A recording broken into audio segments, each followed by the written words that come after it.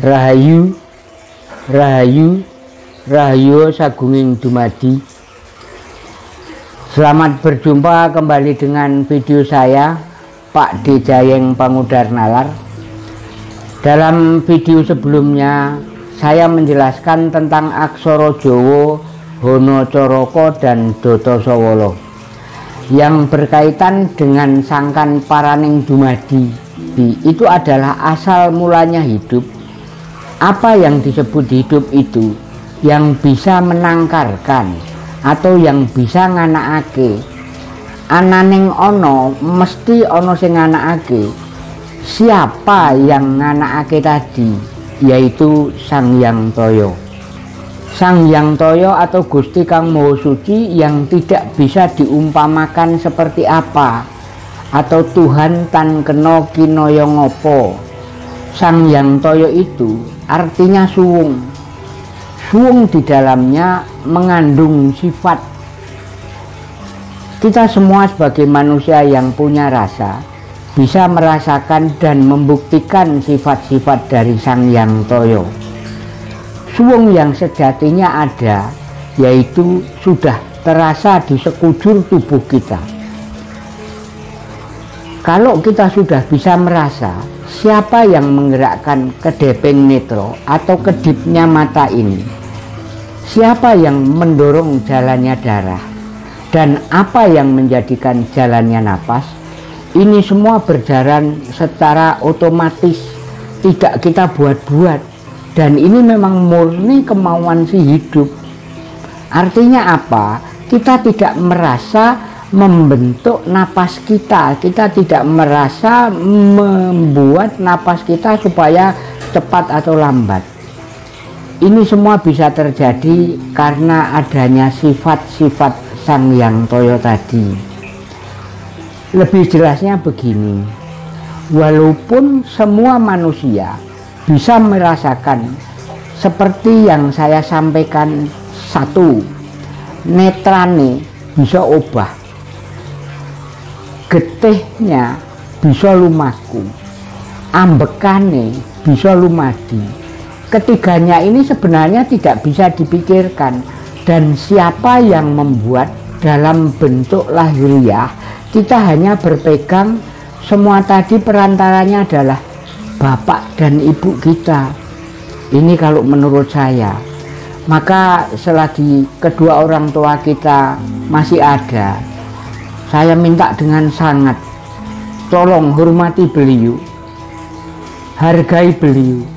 Bahagiakan beliau. Selagi mereka masih hidup. Hidup itu memerlukan ruang. Ruang merupakan tempat digelarnya permainan dan bersendau guru untuk kehidupan. Istilahnya hanya tempat mampir ngombe, tempat di mana manusia melakukan lakon dan ngelakoni yang menjalankan perannya masing-masing di dalam ruang spiritual dan ruang fisik di atas bumi mulya ini. Hidup hidup itu merupakan sebuah kondisi keberadaan roh.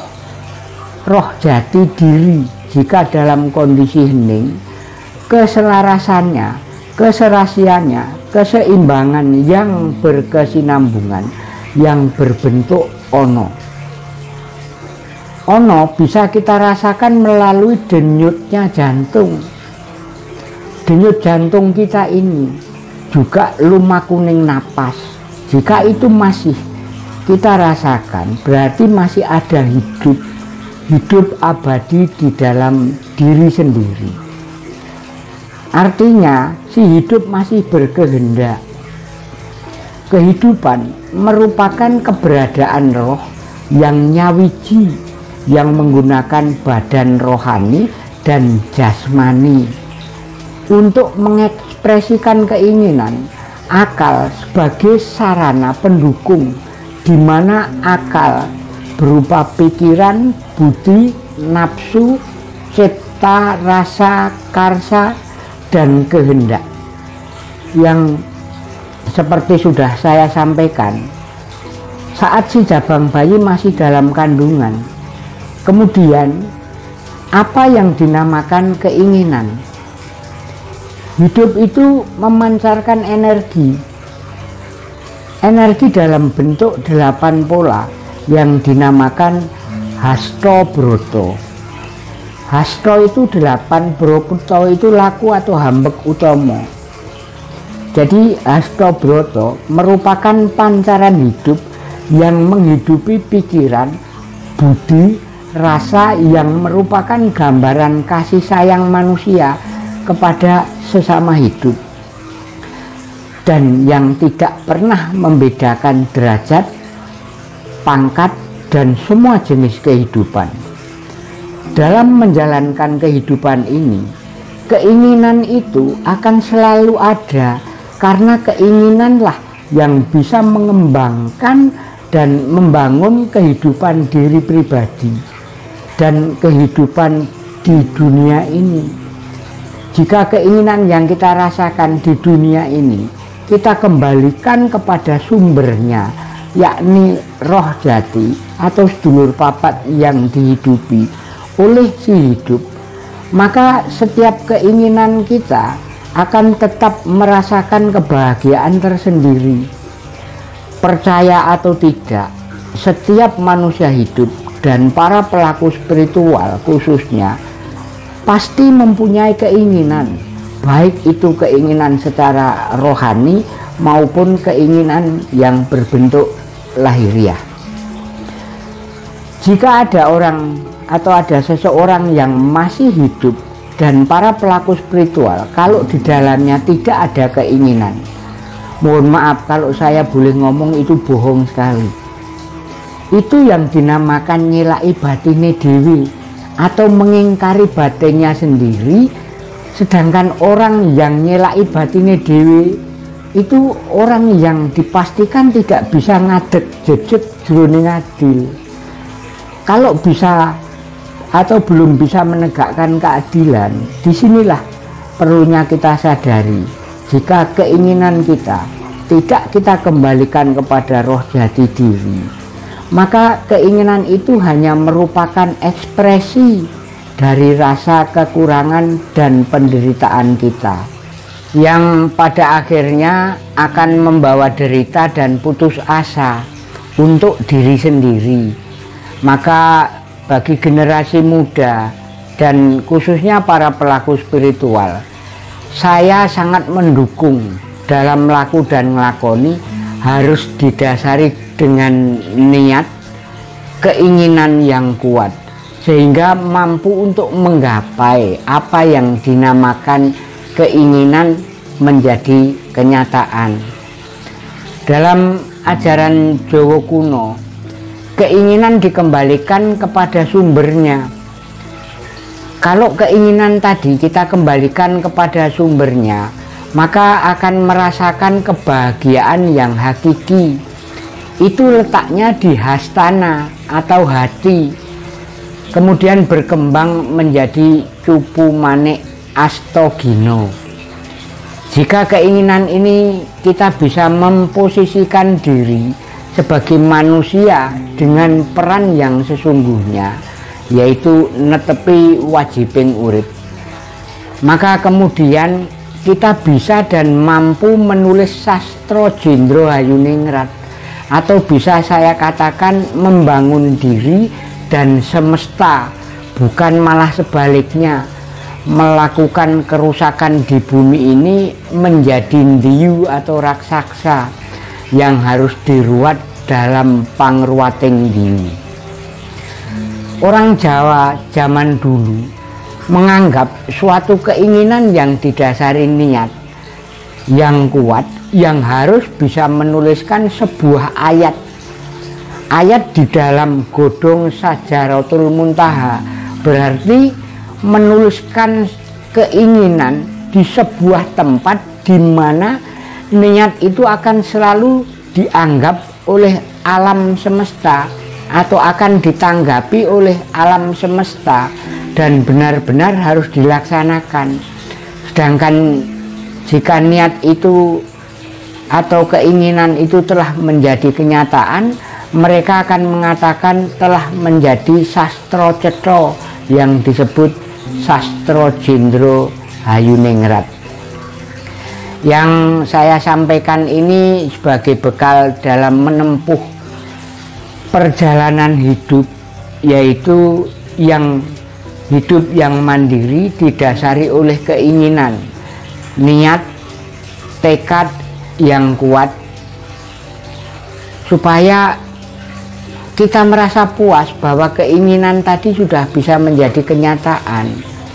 Jadi Aksara Jawa Hono Coroko dan Doto Sowolo sebagai gambaran hidup yang tidak boleh mengingkari batinnya sendiri si jabang bayi semenjak dari kandungan sampai lahir ke dunia ini sudah dibekali dengan cipta, rasa, karsa.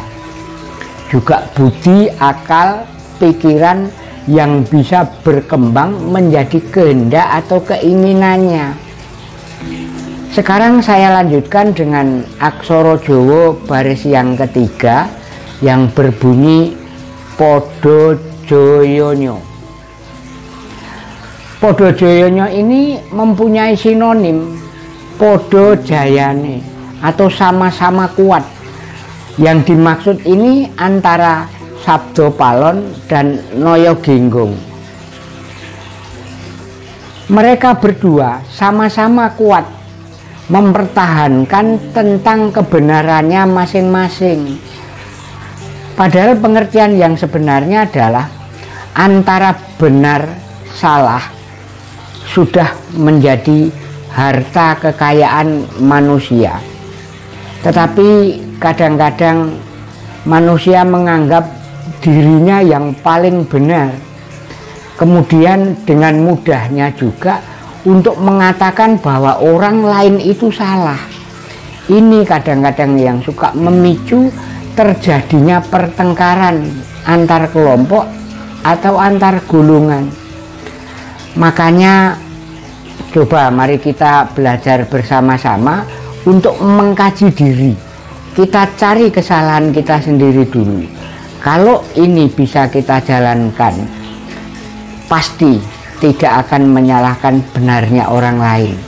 Kita harus belajar lembah manah dan andap asor artinya saling menghargai dan saling menghormati yang saya maksud saling menghargai dan menghormati orang lain termasuk menghargai diri sendiri karena apa? menghargai orang lain menghargai pendapat pemikiran juga paham orang dalam berkepercayaan atau dalam beragama.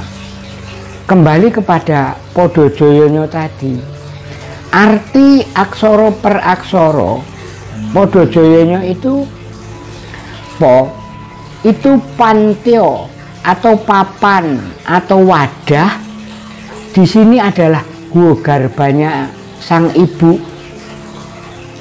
Sementara do itu dawuh atau sabdanya sang maha hidup kepada si jabang bayi dengan bahasa gaibnya.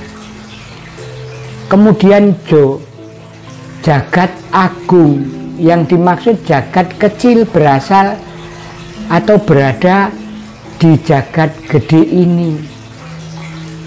Sementara Yo itu yakti betul dan benar sesungguhnya keberadaannya sifat manusia antara salah dan benar. Kemudian nyo. Nyo itu nyawiji, menyatu, tak terpisahkan. Maksudnya antara lahir dan batin kita, juga antara benar dan salah. Karena seperti yang saya sampaikan tadi bahwa benar dan salah itu tempatnya manusia jadi podo joyonya itu jalan baik buruknya perbuatan hidup manusia sudah menjadi satu. Tinggal bagaimana manusia untuk menyikapinya. Ini merupakan perjalanan hidup manusia di dunia ini. Jadi kita tidak bisa mengingkari itu semua. Jadi apa yang kita lakukan sebaiknya jangan terlepas dari rasa rumongso, tepo seliro, dugo prayogo dan duro sembodo. Duro sembodo juga waskito ing semu karena sesungguhnya munculnya ajaran bibit, bobot, bebet, titis, tetes, tetes asah asih asuh sepuh wutuh dan tangguh itu bermuara dari adat ketimuran atau adat nusantara ini yang bisa membentuk perilaku jasmani menjadi lembah manah dan andap asor sedangkan untuk perjalanan rohani yang mengikuti ajaran agamanya masing-masing Demikian penjabaran tentang Aksoro Jowo Podo Joyono. Semoga bisa menambah wawasan dan sampai ketemu dengan video berikutnya tentang Mogo Bodongo. Saya mohon silahkan di like dan subscribe agar channel ini bisa berjalan terus dan terima kasih atas kebersamaannya Rahayu Rahayu sagunging dumadi Maturnuuri.